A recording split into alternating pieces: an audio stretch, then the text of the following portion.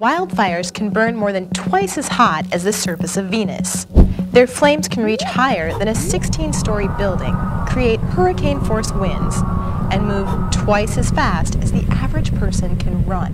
How on earth do you stop something like that? We spend almost $5 billion a year fighting wildfires in the United States.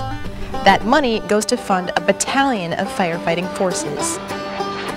Air tankers and helicopters are sometimes the first to attack, dropping water to cool a fire, or phosphate fertilizer to slow its spread. Elite, super fit firefighters arrive by air. Smoke jumpers parachute in. Helitack crews rappel down to combat fires in remote, hard-to-reach places. First to arrive by ground are usually the hotshots.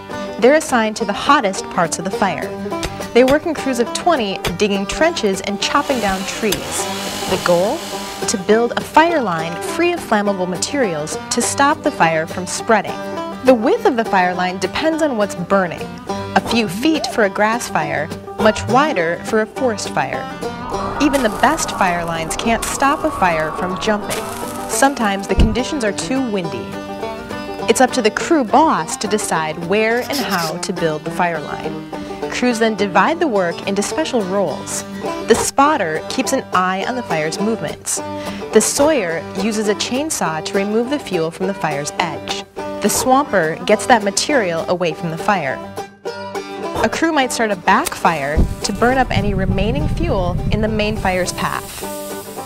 When the hotshot crews get stretched thin, it's time to call in reinforcements.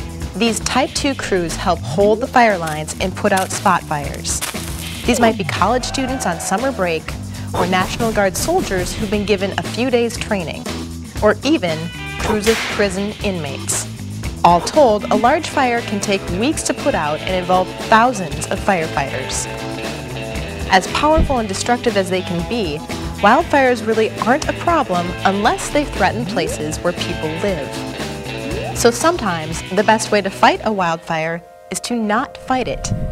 Letting some fires burn naturally decreases the amount of fuel for larger fires in the future. And perhaps just as importantly, many plants and animals depend on fire as part of their natural life cycle. In that sense, wildfire is kind of like rain, a natural and vital part of the ecosystem.